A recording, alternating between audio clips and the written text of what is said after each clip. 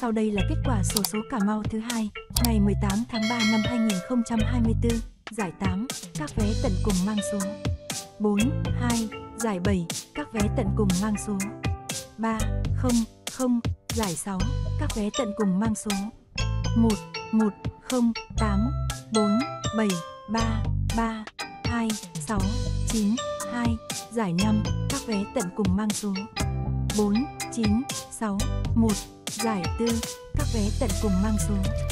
9, 5, 1, 7, 5, 4, 9, 4, 9, 4, 3, 6, 9, 4, 2, 8, 8, 9, 7, 6, 9, 5, 4, 7, 3, 6, 1, 4, 4, 0, 9, 3, 2, 3, 7, giải 3, các vé tận cùng mang số.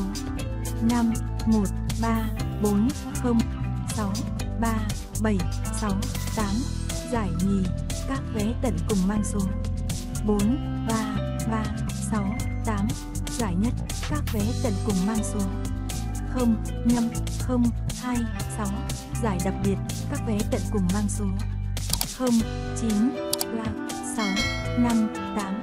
Sổ số Cà Mau được tường thuật trực tiếp nhanh nhất và chính xác nhất tại website sổ số.mobi.